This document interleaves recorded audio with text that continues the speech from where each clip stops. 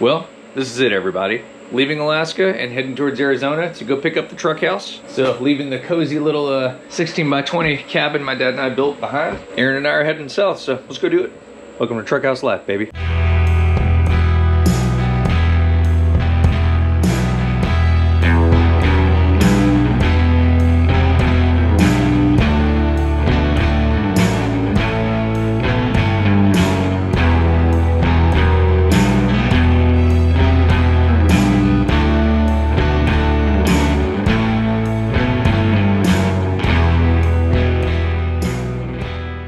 So we got uh, all our bags packed up, loading up her car right now.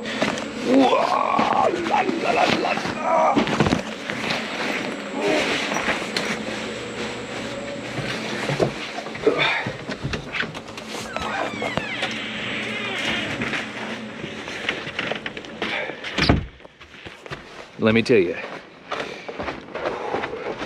it is freaking cold outside.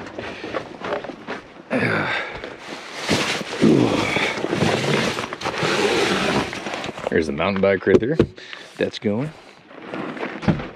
oh, it's cool. The moon's out up there. Hey, it's gonna be an eclipse this evening. Really? Yeah. Maybe we'll see it on the plane. Because we're going to Arizona.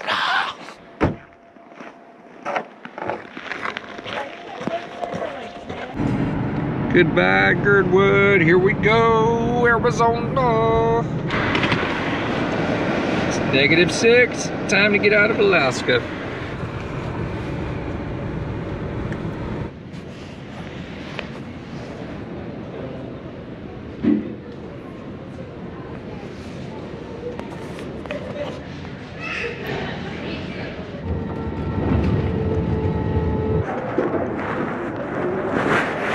Well, guys, we're chilling here waiting for Uber or the Lyft, and uh, Alaska Airlines left our bags in Anchorage, so we're in Phoenix without any of our uh, or most of our equipment.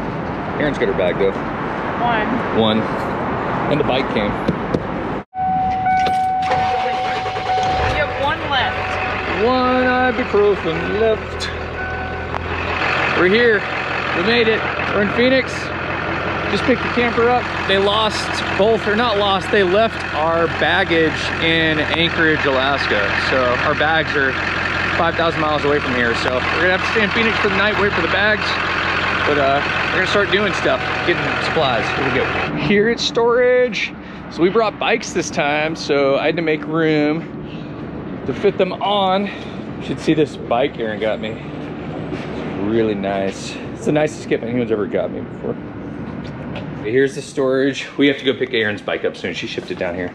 She got a new one too. But what I did, I didn't want to get stuff stolen because I had the one wheel of my kayaks and I was gone for a month and a half. So I wanted to get a separate storage, put my expensive stuff in here, and then park the truck outside. So that was a huge peace of mind. But now we're loading. Ah.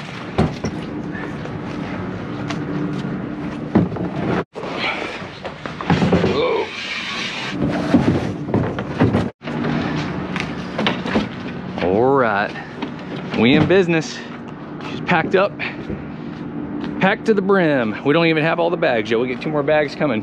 Put the kayaks on one side, get the bike in this side, then we can get uh, Erin's bike beside it.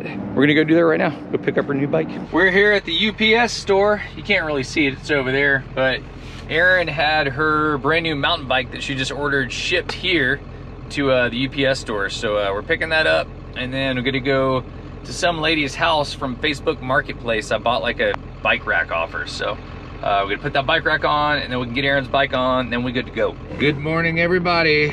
We're in Phoenix and going to Sedona. On to Thunderbird.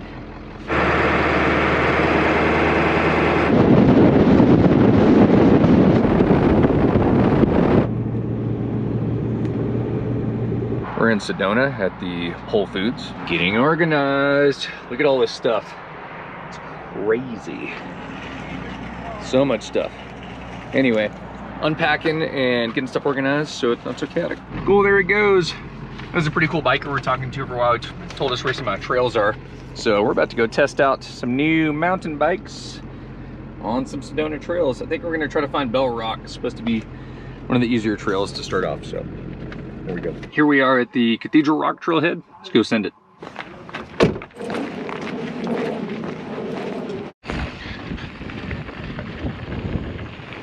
Here we go.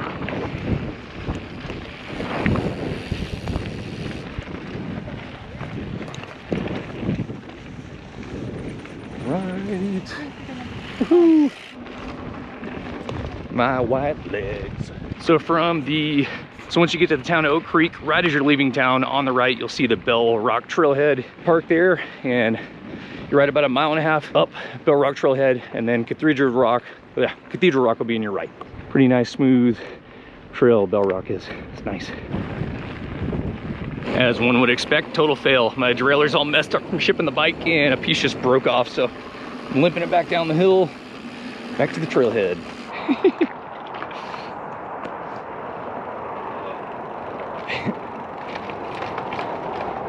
oh yeah. Ah!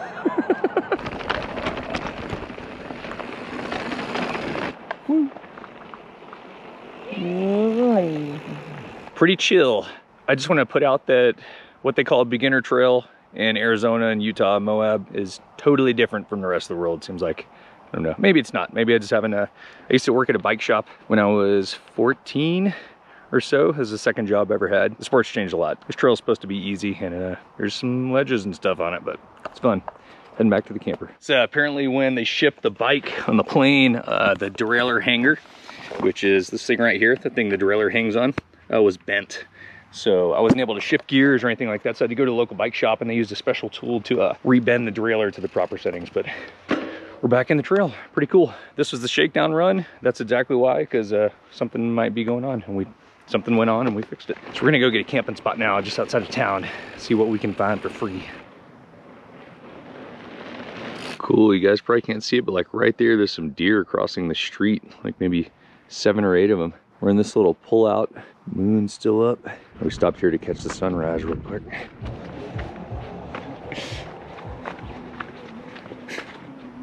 There's like seven or eight deer crossing the road right back here. Look, hey, deer sunrise, deer sunrise. Morning. Morning. Right in my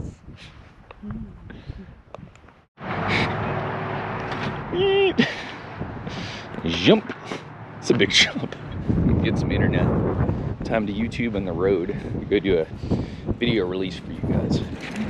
Driver only. Oh, What? No way. well, the uh, cafe is closed.